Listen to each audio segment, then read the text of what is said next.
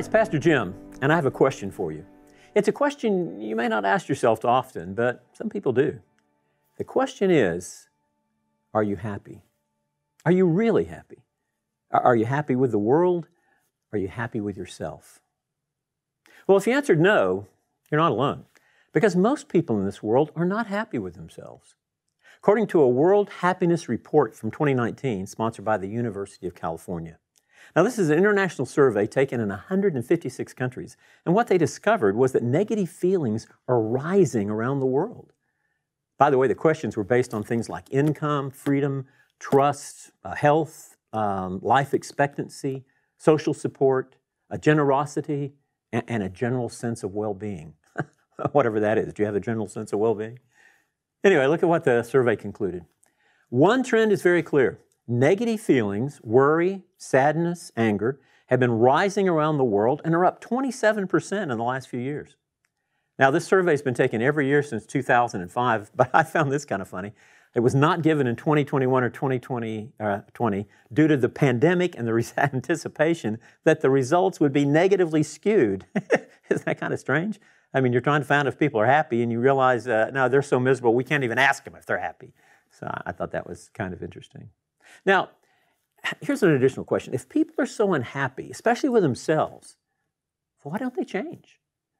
And the answer is because the power to change is one of the most elusive powers in the whole world. Uh, think uh, New Year's Eve resolutions. You know, 50% of the world that says make them, 30 days later, only 5% keep them. Think sales of self help and self improvement products.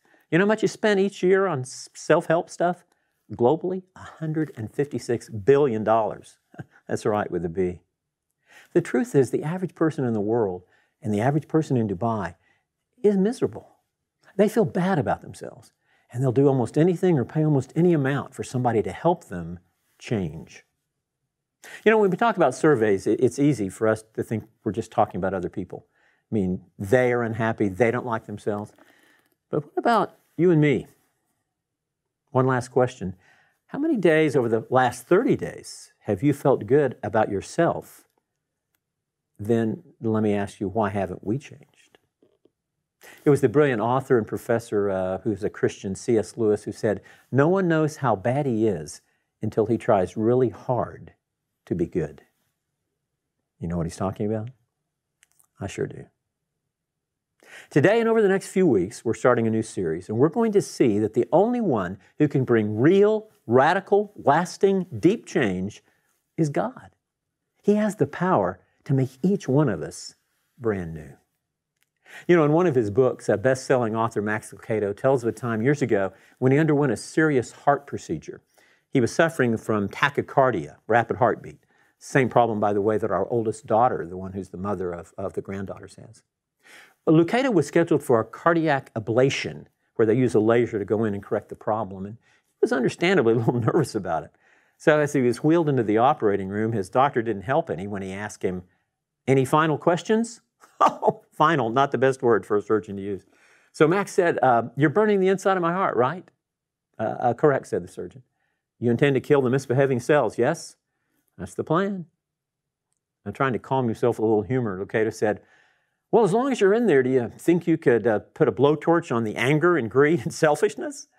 Sorry, said the surgeon. That's out of my pay grade. Lucado concludes, Indeed it is, but it's not out of God's. He's in the business of changing hearts. Anybody here need a new heart? If so, pray with me. Heavenly Father, we know that not just people around the world, but people right here who are listening to this talk, and even the person who's giving it. Lord, we can struggle at times with feelings of just negative feelings, guilt, shame, and remorse. Father, so often we say or do things and we think, well, why did I do that? That's not the person I want to be. Lord, I pray you would help us today and over the next few weeks to hear what you have to say about how we can be the people that we were really made to be, the people that we want to be. So, Father, be our teacher, none other can. And help us, Lord, that today we begin to learn how we can become more like Jesus and less like our old sinful selves. Thank you, Father. In Christ's name we pray. Amen. Well, listen, this is going to be a wonderful series, and I hope you won't miss a single week of it. And what we're going to be doing is looking at the most interesting and relevant passages about life change in the New Testament. And today we're going to begin by looking at a passage that's been a great help to me. It's Galatians chapter 5. Now, Galatians was a letter the Apostle Paul wrote to some churches in the northern part of what today would be uh, modern Turkey. And in the process, he really helps us in this about this topic of change. Look what he says. For you were called to freedom, brothers, only do not use your freedom as an opportunity for the flesh, but through love serve one another. For the whole law is fulfilled in one word you shall love your neighbor as yourself. But if you bite and devour one another, watch out that you are not consumed by one another. And here's the part that I want to talk about. But I say, walk by the Spirit, and you will not gratify the desires of the flesh. That word flesh is a word which has to do with the inner nature, our inner sinful nature that we're born with. I mean, he, if he wanted to talk about our fleshly bodies, there was another word he could use, but this word sarx, most of the time when Paul uses it, is talking about. Matter of fact, it's even translated as sinful nature in, in many New Testaments. For the desires of the flesh are against the Spirit, the Holy Spirit, and the desires of the Holy Spirit against the flesh, that sin nature. For these are opposed to each other to keep you from doing the things as a Christian you want to do. But if you're led by the Spirit, you are not under the law. Now, the works of the flesh, and get ready to hold your nose, are evident sexual immorality, impurity, sensuality, idolatry, sorcery, enmity, strife, jealousy, fits of anger, rivalries, dissensions, divisions, envy, drunkenness, orgies, and Paul says I could go on and on and things like this. I warn you, as I warned you before, that those who do such things will not inherit the kingdom of God. So, someone who practices these things and these are part of their regular lifestyle and, and they don't feel guilty when they do them, Paul says you got a serious problem with that. But what's Paul saying that we should be like? Well, look at this. This is the good list. But the fruit of the Spirit is love, joy, peace, patience, kindness, goodness, faithfulness, gentleness, self control. Against such things, there is no law. And those who belong to Christ Jesus have crucified the flesh, there it is again, with its passions and desires. And then here's a really important statement if we live by the Spirit, let us also keep in step with the Spirit. Now, just by way of background, the, the whole letter that Paul writes essentially is about two conflicts. The first one that he writes about is a conflict between those Judaizers, as they were called. There were these men who were following him around, and they were basically telling people that, that Jesus was fine, but they also needed to uh, abide by all the rules of the Old Testament. They were called Judaizers. And Paul said, these people are, these people are evil. It's wrong because they're adding to the cross. They're saying that you have to earn your salvation when the whole message of Jesus and, and those who knew him and followed him was that only his sacrifice on the cross can purchase our salvation. Uh, so that's one conflict. It's not the one we're going to talk about. This one we want to talk about is the conflict he brings up in Galatians chapter 5. It's a conflict, he says, between our old sin nature and our new nature in Christ. He's basically saying that we're all born with that old nature, and when we become a Christian, um, that old nature is done away with. The problem is that we then need to begin to live by that new person we are in Christ. Uh, let me show you. His, essentially, here's a summary of what he's going to say. To experience life change, we must be born again. I mean, if you don't come to know Christ, follow Him, and by faith in Him and realize that His death on the cross is what makes the change possible, then it's not going to happen. So you must be born again to receive a new nature. It's then that our slavery to sin is broken and the fruit of the Spirit begins to grow within us by the power of the Holy Spirit. It's what's often called spiritual transformation. Now, the change that God wants to make in us is He wants us to have these nine amazing characteristics this fruit of the Spirit. And look at this list again that we read. I mean, it's love, not just any love, but that agape love, that selfless giving love. It's the love that Jesus has for each of us. It's the love that God had in sending Christ to come and be our Savior. It says in John 3 For God so agape the world that He gave His only begotten Son. Um, uh, it's joy, it's peace, it's patience, it's kindness, it's, it's goodness, deep, genuine, lasting goodness. Good to everyone you need. It's, it's faithfulness, it's gentleness, it's having self control. And here in Galatians 5, Paul contrasts that with what? With the works of the flesh. And, and you know, I never really noticed it, but uh, even though I've taught on this a lot, but I, I, I, put these two lists side by side, and, and it may be just uh, uh, nothing that was really intended, but it certainly jumped out at me. You can almost see the contrast between these things. I mean, there's love compared to sexual immorality. That's a big difference, you know. It's not just uh, um, uh, love the one you with, but it's loving a person and them loving you and being faithful to that person. It's, it's joy versus impurity and sensuality. It's peace instead of idolatry and uh, witchcraft or sorcery, as there's not finding peace from seeking Satan, finding peace from the one who can really give it, God. It's patience instead of enmity. I mean, you can go through the whole list and see that. And, and, and two things I want to call to your attention. Number one, and it's probably a simple thing, but let me ask you, who would I rather be? Would I rather be the list on the left or would I rather be the list on the right? Uh, who would I rather be married to? Who would I rather have as parents or friends or flatmates or coworkers? You know, who would say, "Oh no, no, I want a boss who you know communicates through fits of anger"? Ah, that's not. I know, no, thank you. No, I would rather have someone who is changed into a person of self-control and gentleness. I mean, I want to be married to a wife that sleeps around. No, I want to be married to a husband who comes home and gets bombed every night, and you know, I have to put him to bed. No, that's not what I want. So that's the change we all desire, is to become more like Christ. And, and so if you're here today and you're not a follower of Christ, um, yeah, I want to urge you to become one.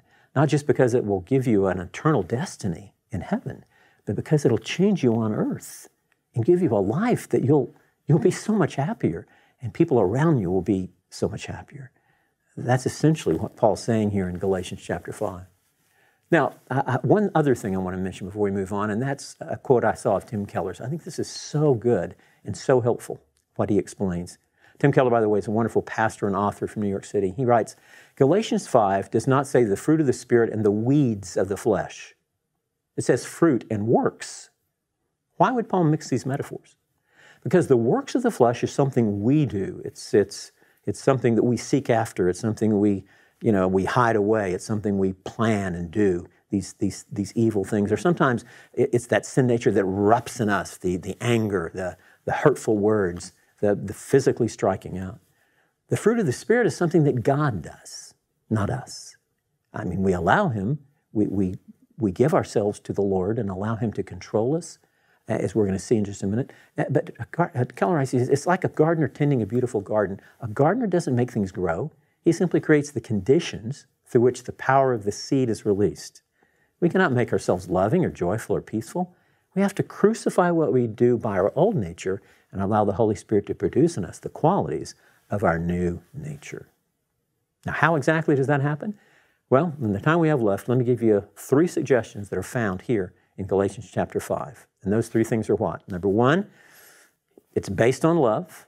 Number two, change is powered by the Holy Spirit. And three, there has to be a crucifixion. So let's look at these things together. First of all, how change happens. It's based or has its foundation in agape love. Uh, Jesus' love for us, our love for Him, and our love for others. As a matter of fact, there's an amazing verse in Galatians here, chapter 2, probably one of the most important verses in all the New Testament. It's Galatians chapter 2, verse 20. Look at it with me. Paul writes and he says, I have been crucified with Christ. It is no longer I who live, but Christ lives in me. And the life which I now live in the flesh, I live by faith in the Son of God. Here it is, read this with me, who loved me and gave himself up for me. Wow. That's what makes me want to become a new person. That's what gives me the, the motivation, the, the purpose. That's when I wake up in the morning and say, I don't want to be like I used to be. I want to be different. I want to be because I'm loved by God in Christ. I, I mean, it says in the New Testament, for, for God so loved us. It says that even while we were yet sinners, Christ died for us. It wasn't like He was waiting for us to become good and then He decided to love us. He loves us. And He came, and that love changes us, makes us different. And it's not just as, as a result of His love for us, we love Him. Look what Paul writes in verse 6. He says, For in Christ Jesus, the law counts for nothing, but only faith working through love. It's not the Old Testament law that's going to change you. It's the faith you have in Jesus and the love you have for Him as a result of the love He has for us. And it's not only a, a, God and me thing, but it's also me and the people around me. Look what he says in verse 13. Do not use your freedom as an opportunity for the flesh, but through love serve one another. As the other people serve me, I feel God's love through them. And when I do something for someone else, I'm expressing God's love to them. It, it's a wonderful cascading experience in community, and it's so, so important. Love changes us. Uh, let me give you a good example. Let me show you a picture. Uh, see if, see if, tell me, do you know who this is? yeah, hey, believe it or not, that's me. And, and next to me is my beautiful bride, Alanda. And uh, this is actually July 27th, 1974. That's right, almost 50 years ago.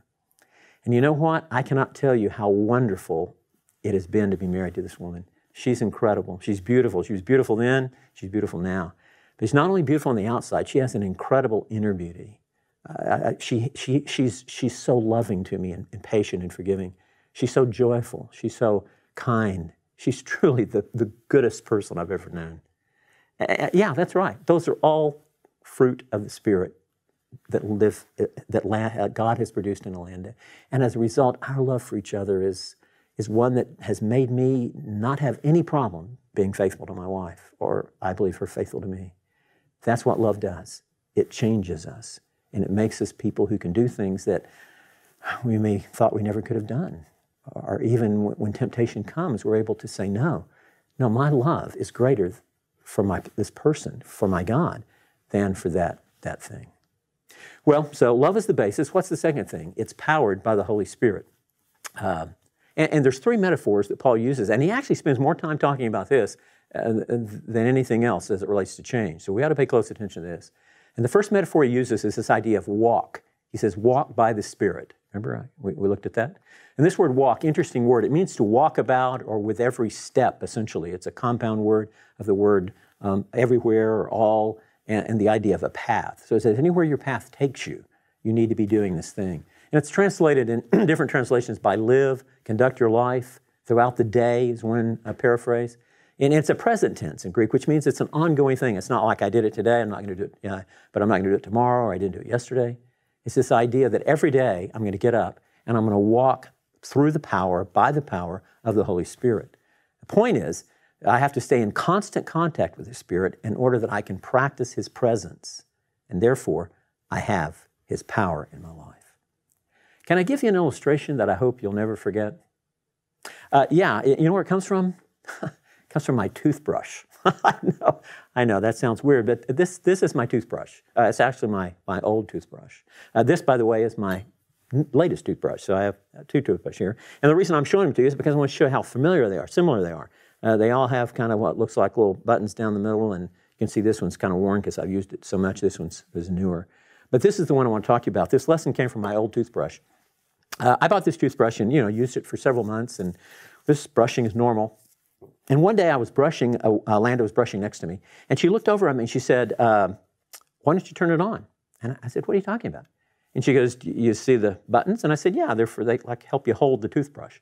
She says, "Press the top one," and I did. And this is what happened. Can you believe that? It's an electric toothbrush. I've never seen such a small electric toothbrush. I thought the hand, heavy handle was just for holding it better. You know, better, it's back there in the back. No, it was an electric toothbrush. I had been brushing without the power of the toothbrush.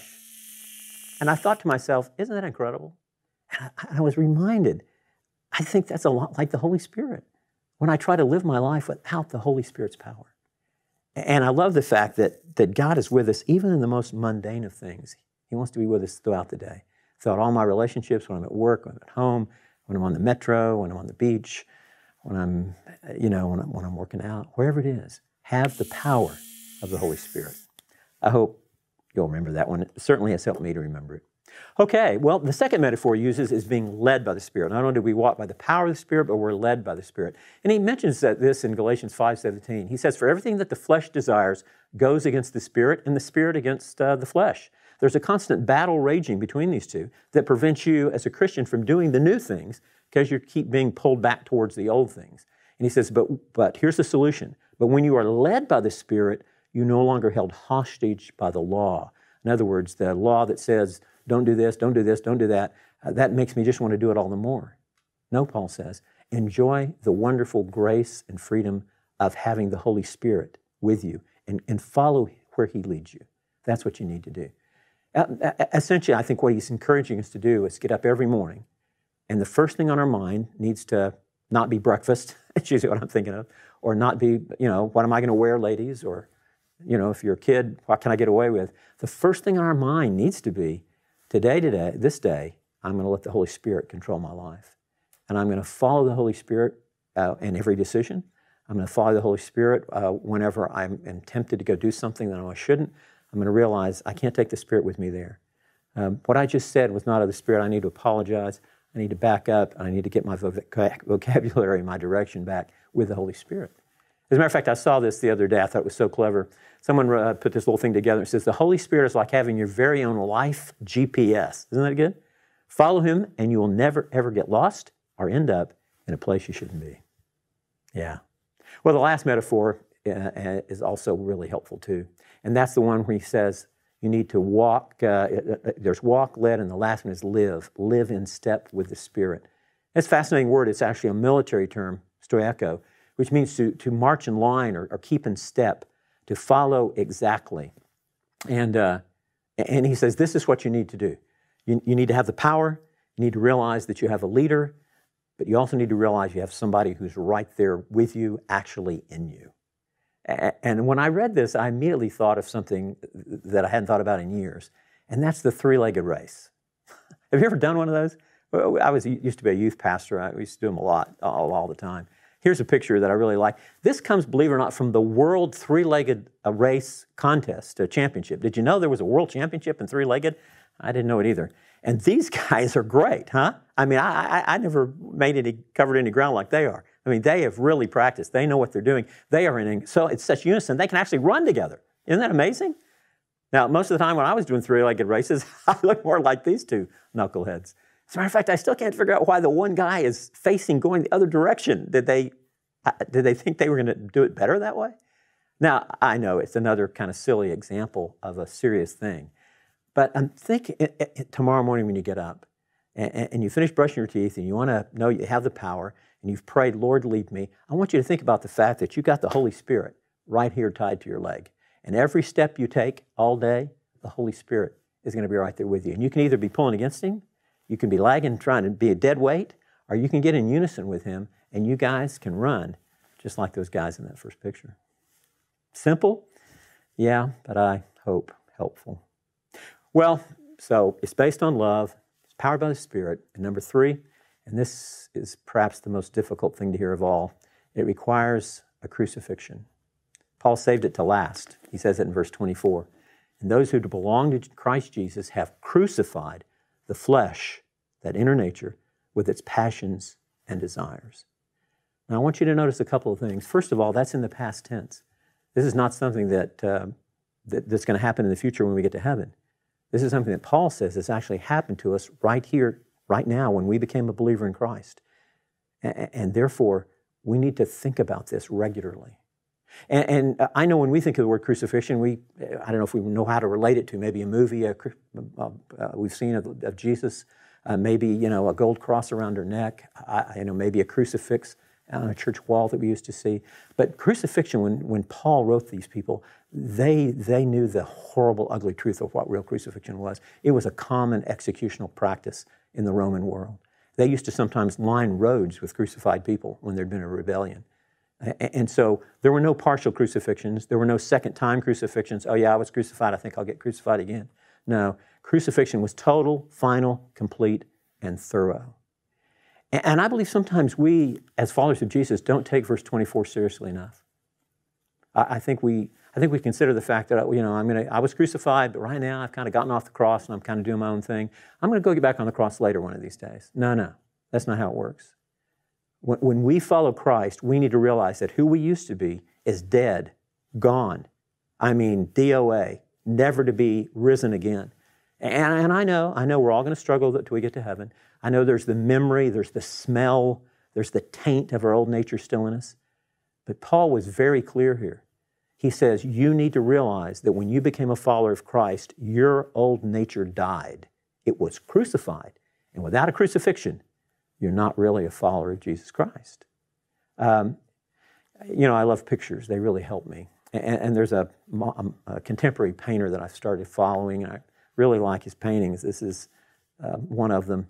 I, I, love the way Christ is literally hanging. So often you see him against the cross like it was no big deal to stay against the cross. It was extremely difficult, uh, as if you know anything about crucifixion. But anyway, I, I like the painting, and here's when I think and look at this painting, and I was reading this passage. This is what it made me think of my sin nature on the cross with Jesus. I mean, right there on his chest. I'm dying for Jim's sin nature. I'm dying for Alanda's sin nature. I'm dying for your sin nature. And, and so, this is how we need to think about our sin nature. For Christians, it shouldn't be a choice. Am I going to live by the list on the right or the list on the left? We ought to only focus on the list on the left and realize that, yeah, sometimes we're going to we're going to perhaps look back longingly at the list on the right. Sometimes we're going to want to even reach over there. But we live on the left. So, by way of application, let me ask you one last thing. Does this actually happen? Can it happen in your life?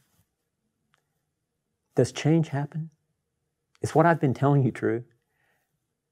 Can I, can you, can anyone who comes to Christ experience this spiritual transformation? And the answer is absolutely. You know, over the next few weeks, we're going to ask people who have experienced this change to share their stories with us. And today we've asked one of the lovely women in our church, Sid Gagalian, if she would come and tell us what happened to her. So let me pray first, and then we'll hear from Sid. Would you bow your heads with me? Heavenly Father, uh, thank you for, for loving us, for sending Jesus to die on the cross for us, for the fact that as a result of us putting our faith in Him and asking you, Lord, to forgive us our sins, of us turning and repenting of our sins and seeking to follow Jesus, we can become this new person we've been talking about.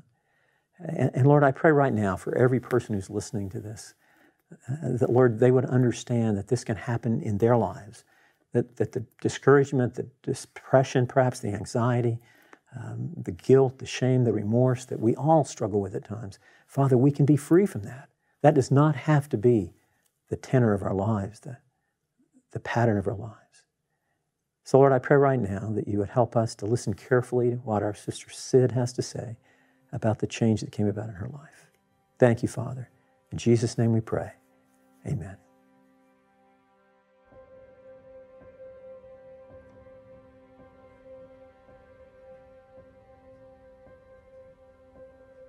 My father had different wives at the same time. We're 13 siblings. So, you know, you you don't have the full attention of your father um, growing up. You feel outcast because everyone else has their family. Everyone else, parents are married, you know, and and, I'm the only one um, within my classmates and my friends who doesn't have a father that I can call my own? I I really I was so angry with him. With him and my mom. So I have to try things differently, like just to forget things. Forget my problems, forget what I'm facing at home.